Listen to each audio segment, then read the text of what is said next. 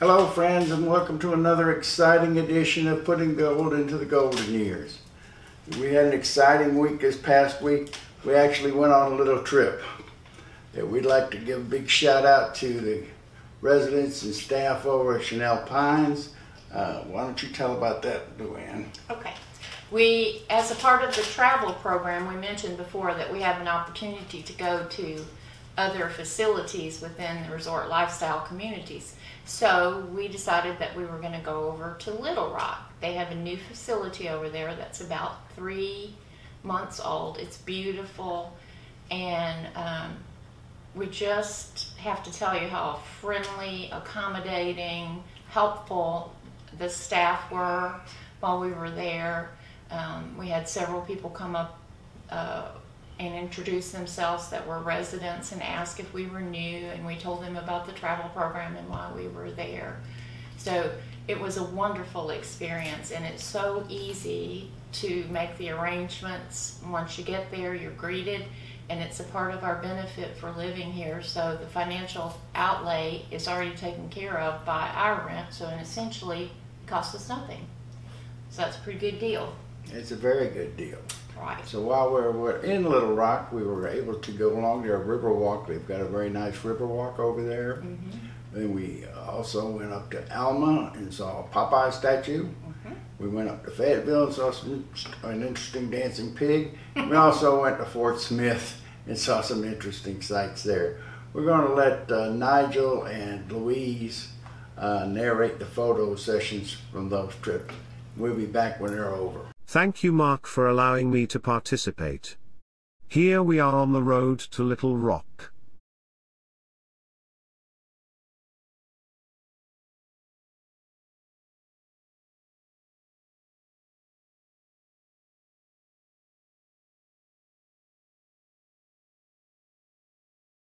There is a pedestrian bridge across the river and you can also see the Little Rock, Little Rock. Along the river in Little Rock they have a lovely sculpture garden.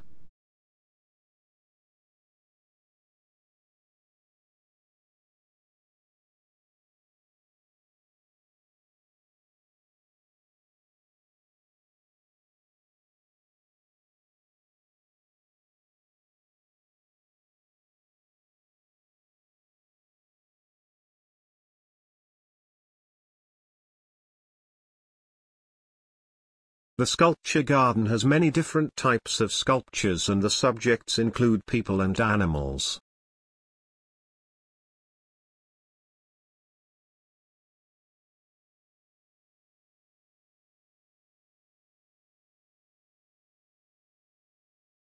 Luckily Mark and Luanne visited on a lovely sunny day and had good weather their entire trip.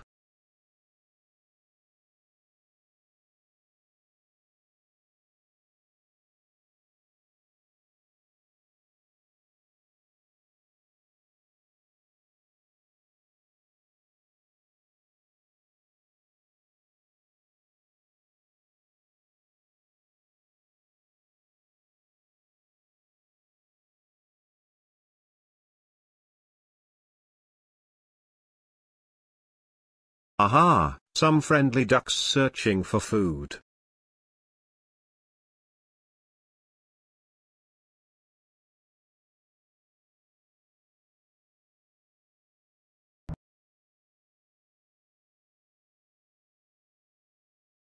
Little Rock should be very proud of their riverside park. It really is quite lovely and a great way to spend a sunny afternoon.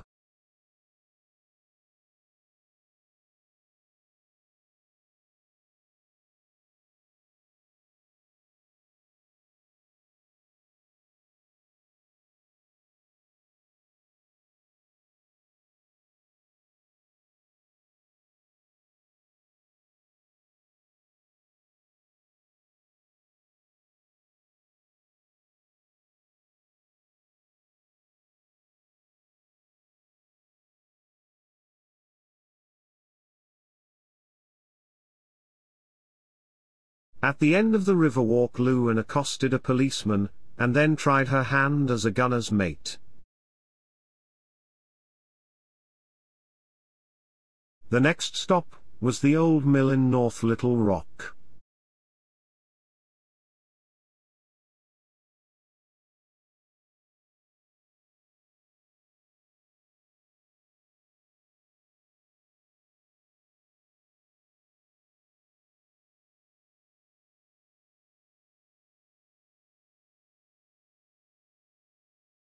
In Alma there was a statue of Popeye and a memorial to a policeman killed by Bonnie and Clyde.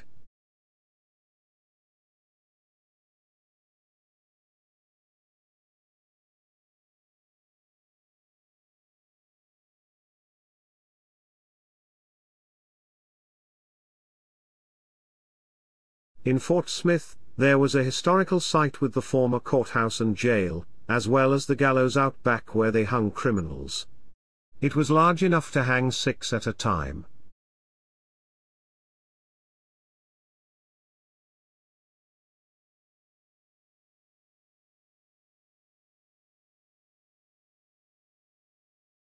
Fort Smith was also home to U.S. Marshal Bass Reeves and General William O. Darby, commander of Darby's Rangers.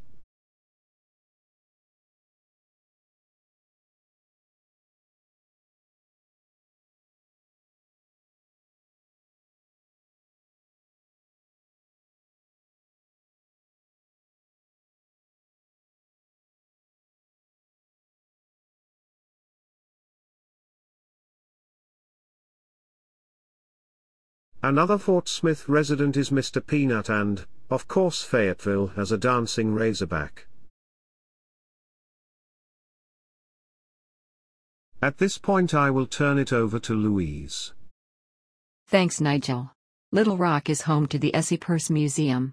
It is one of only two purse museums in the world. The other one is in South Korea.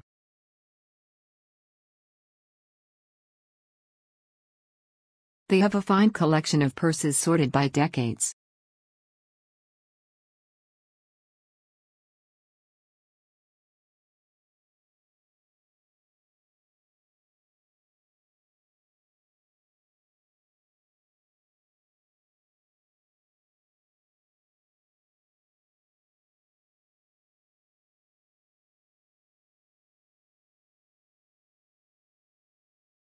Another interesting feature is they have a set of paintings each depicting a woman with a purse.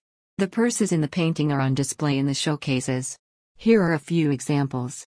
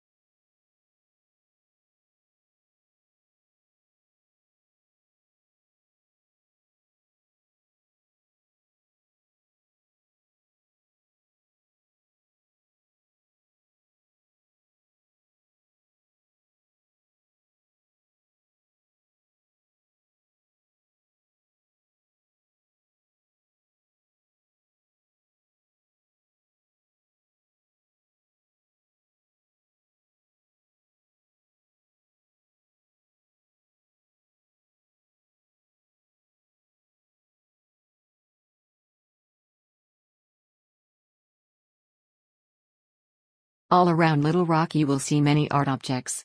Just a little way up the street from the museum was a storm drain painted as if fish were going into it. Thanks, Nigel and Louise, for that uh, narration for us. Uh, Luanne, you've got something you wanted to show the folks? Yeah, I forgot to say this earlier. One of the things that we went to in uh, Little Rock was a purse museum.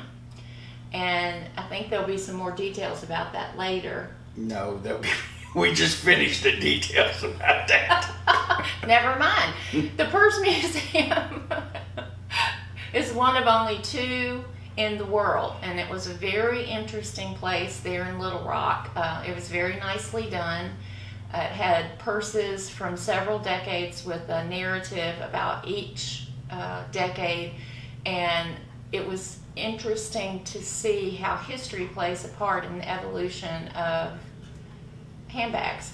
And the other thing that was really interesting, there were uh, paintings on the wall in the museum that were done by a friend or relative of someone that works there. And in each of the paintings, there was a purse depicted, and the purses were those that were in the museum. And I got a surprise when I was there. I don't know if you'll be able to see this very well, but my my honey bought me a new wallet with a dachshund on which makes me extremely happy. Now that's all I got to say. Yes. Well, thank you for repeating half of what Louise said. and we'll see you on the next episode of Putting Gold into the Golden Year. Well, that's it for this week. See you next time.